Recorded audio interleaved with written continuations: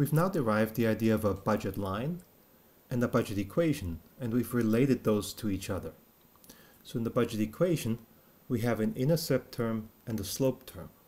So the intercept is the y-intercept, and the slope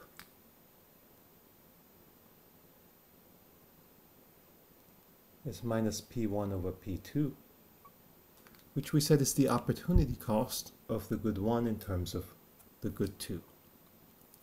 Now that we have that, we can ask what happens to your budget line, to what you can afford, as your economic circumstances change. In our simple model so far, your economic circumstances are fully described by your income, by the price of good 1, and the price of good 2. That's what determines how much you can afford.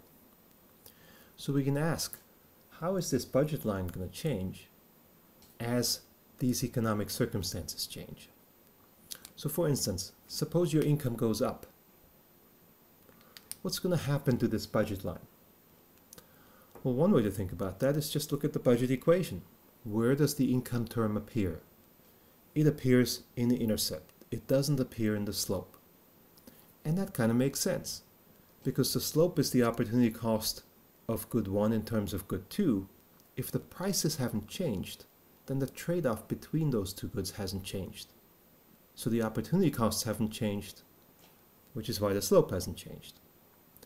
So if there's an increase in income, we see no change in the slope. We just see a change in the intercept. So what we're going to get is a parallel shift in the budget line. Slope stays the same, so the new budget line is going to be parallel to this budget line. But if income goes up, then that intercept term is going to shift up. So we're going to see an outward shift in this budget line with an increase in income. And again, that should make intuitive sense. As your income goes up, your economic opportunities in terms of what you can afford increase. Well, if income goes down, if income goes down, again, income only appears in the intercept, the slope doesn't change, we'll get another parallel shift, only this time the parallel shift is in the other direction. Your economic opportunities are decreasing as your income shifts, so your budget is shrinking. So that's the first kind of economic circumstance that could change. But we could also see changes in prices. So let's look at what a change in the price of good 1 would mean. So again, we start with our original budget line. We have an intercept term, income divided by P2, and we have a slope of minus P1 over P2.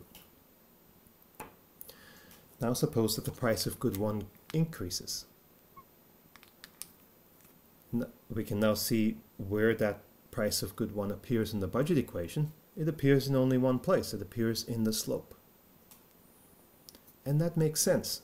That slope is the opportunity cost of good 1 in terms of good 2, if the price of good 1 changes, that opportunity cost is going to change. The trade-off between those two goods is going to change. And thus the slope changes. So if the price of good 1 goes up, the numerator in this fraction goes up, which means the total number in absolute value is going to increase, which means a steeper slope. So an increase in the price of good 1 is going to create a steeper slope, but it's not going to change the intercept. So a steeper slope would mean that we get an inward rotation of the budget line. And that too should make intuitive sense. If the price of good 2 isn't changing and only the price of good 1 changes, then if all you buy is good 2, you can still buy exactly the same quantity as you did before. A change in the price of good 1 hasn't affected you. But if you do buy good 1, then an increase in the price of good 1 means you can buy less now than you could before. If you buy only good 1, you can certainly not buy as much as you could before. So that then would be an increase in the price of good 1. And of course, a decrease in the price of good 1 would just be the opposite. Now we would see a decrease in the price of good 1, so that number in absolute value is going to fall, which means the slope is going to be shallower. But the intercept hasn't changed, so a shallower slope with the same intercept means we're going to rotate out. So that should again make intuitive sense. If the price of good 1 falls, you can buy more of good 1 if that's all you buy if all you buy is good 2, nothing's changed for you, so the intercept stays the same. So a price change is going to change the slope and therefore change the opportunity cost of the goods. Finally, you can look at what happens if there's a change in the price of good 2. So if there's a change in the price of good 2, we can again start with our original graph we have a y-intercept of income divided by the price of good 2, and we have a slope of p1 over p2. An increase in the price of good 2 would mean that both the intercept and the slope is changing. But before we think about that, let's just think intuitively about what should happen in the graph. If the price of good 2 increases, then if all you do is buy good 1, it doesn't affect you. You can still afford exactly the same point on this axis. But when the price of good 2 increases and you buy only x2, you won't be able to buy as much anymore, which is why that intercept is going to change. So now we have a new budget line that rotates inward. Only now it rotates around the point on the horizontal axis and not the point on the vertical axis. So we can see intuitively what should happen. That point should remain, but that intercept, should fall, which means the slope is changing. So we can now go back to this and say, does that comply with what the equation says? Well, we have P2 in the intercept.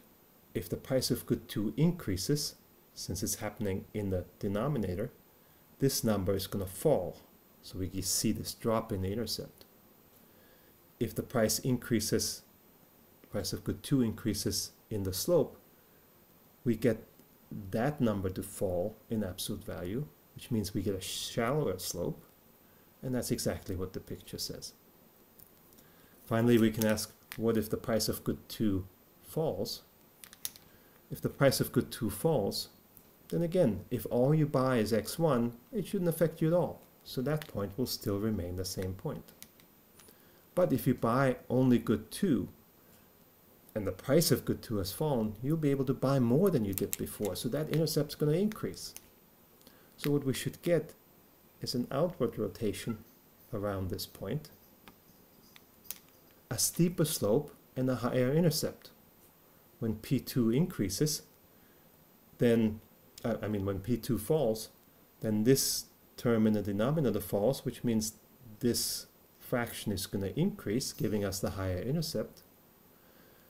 When P2 falls, this denominator falls, which means this number is going to get greater in absolute value, which means we get a steeper slope. So by just knowing what the budget equation is, or by just thinking through it intuitively, we can see how changing economic circumstances will change the budget line.